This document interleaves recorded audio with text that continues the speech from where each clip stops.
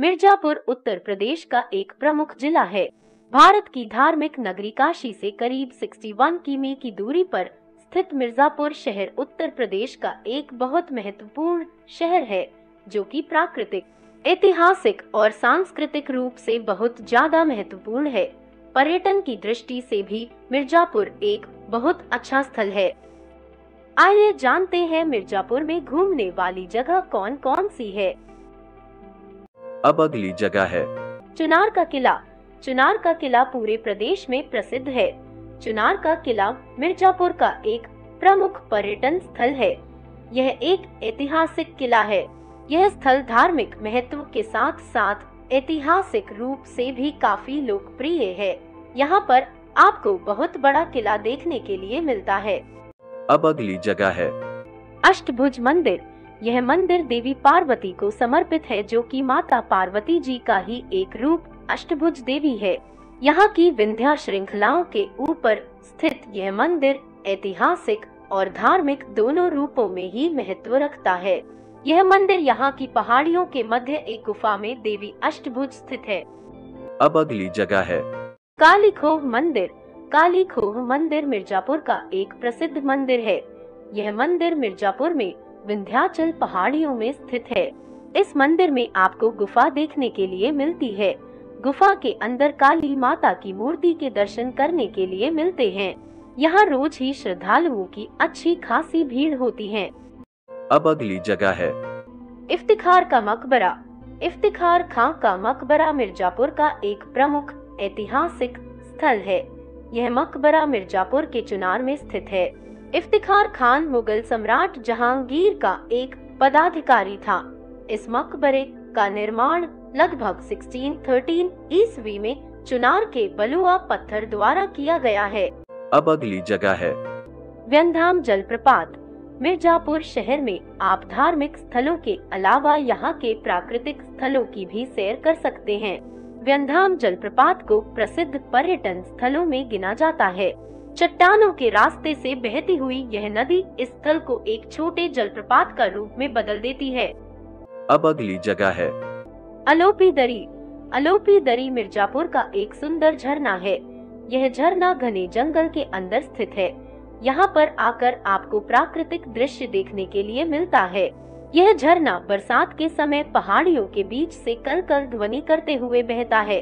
यहाँ पर आकर बहुत अच्छा लगता है। अब अगली जगह है। टांडा वाटरफॉल।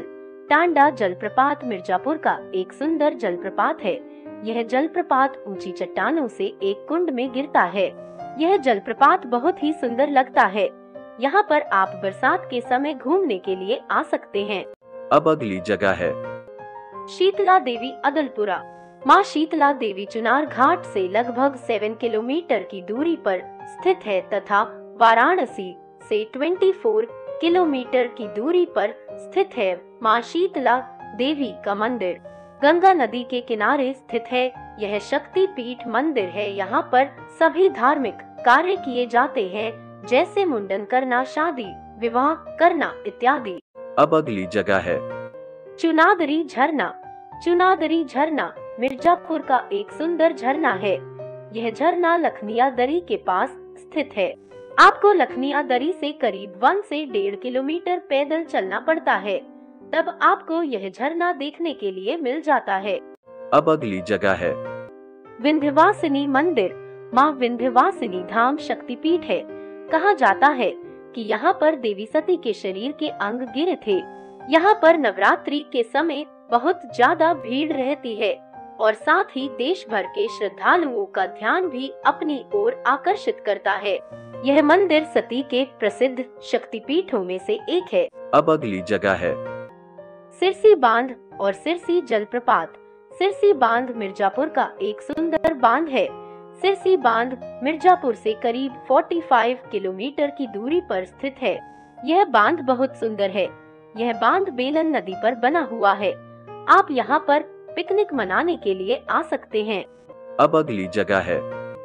माँ भंडारी देवी मंदिर। माँ भंडारी देवी मंदिर मिर्जापुर का एक प्रसिद्ध मंदिर है। यह मंदिर मिर्जापुर ज़िले के अहरेरा में स्थित है। यह मंदिर पहाड़ी पर बना हुआ है। आप यहाँ पर आकर इस मंदिर को देख सकते हैं। यहाँ पर सम्राट अशोक का शिलालेख देखने के लिए मिलता है। अब अगली जगह है। पिपरी बाँध पिपरी बाँध मिर्जापुर का एक सुंदर स्थल है। यहाँ पर आपको एक बहुत बड़ा जलाशय देखने के लिए मिलता है। यह जलाशय बेलन नदी पर बना हुआ है।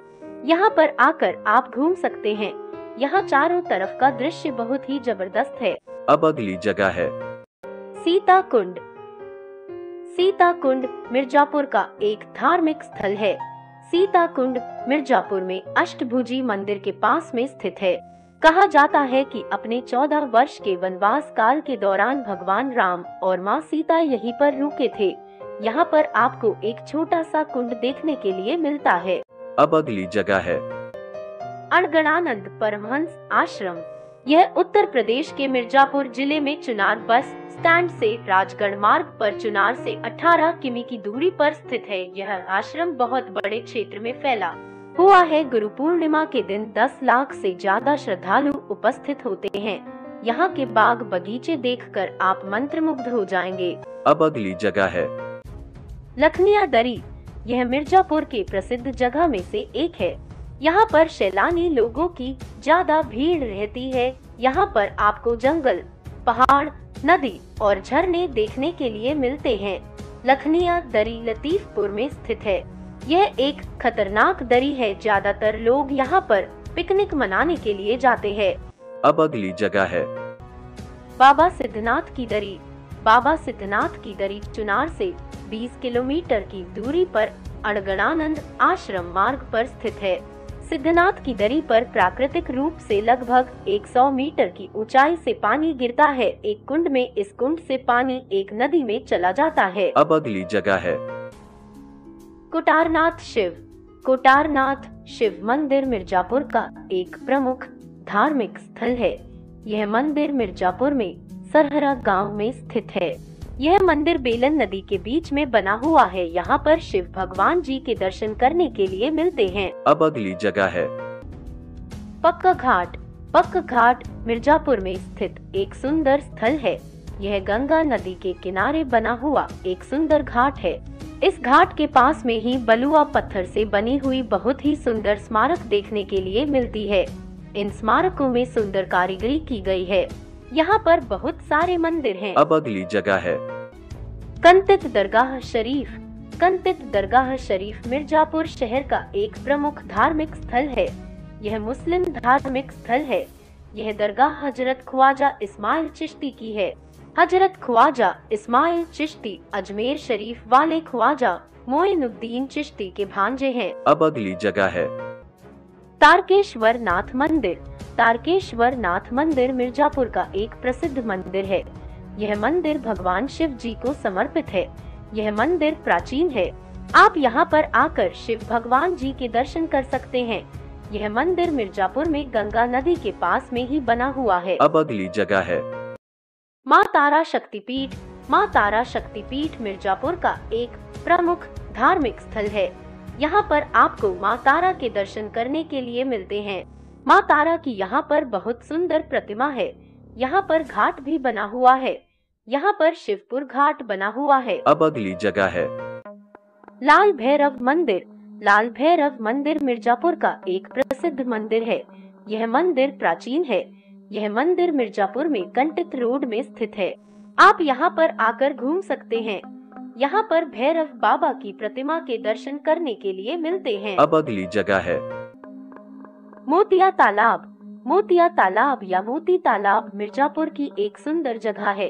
यहाँ पर आपको एक बड़ा सा तालाब देखने के लिए मिलता है। इस तालाब में बहुत सारे कमल के फूल खिले हुए हैं। यहाँ पर आकर बहुत अच्छा लगता है। यहाँ पर तालाब के पास में शिव जी का मंदिर देखने के लिए मिलता है।